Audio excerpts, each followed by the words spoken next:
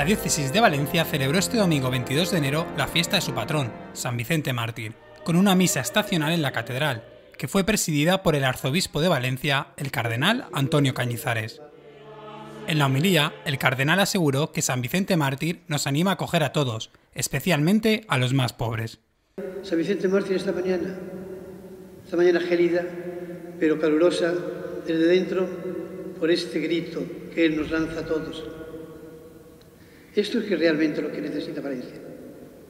A Cristo. Y esto no es fundamentalismo. Y esto no es exclusión de nadie. Esto es al contrario, acoger a todos, a los pobres que están sin techo estos días, pasando mal, muy mal, abriendo de par en par nuestras puertas a ellos. Esto no es excluir a nadie. Esto no es ninguna ideología. Esto es la realidad la realidad de un Cristo, de un Dios que está por nosotros, que ama a los hombres, que apuesta, los, que apuesta por los hombres, que todo le entrega a los hombres. El arzobispo también señaló que Valencia necesita de Cristo para ser una Valencia del perdón y de la reconciliación. En ese sentido, alentó a que Valencia permanezca en la fe que tiene sus raíces en San Vicente. Esta es Valencia.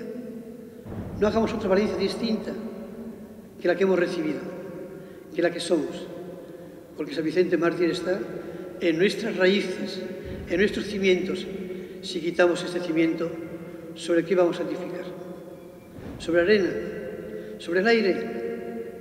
Solamente en Cristo podemos edificar una Valencia nueva, hecha de hombres y mujeres nuevos, capaces de vivir como hermanos, de acoger a todos, de servir a todos.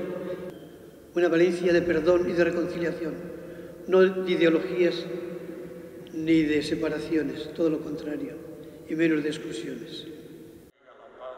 Después de la comunión, la imagen de madera plateada de San Vicente Mártir, obra del escultor valenciano del siglo XVIII, José Esteve Bonet, se trasladó en procesión por las calles del centro de Valencia, parando en los lugares vinculados a su pasión.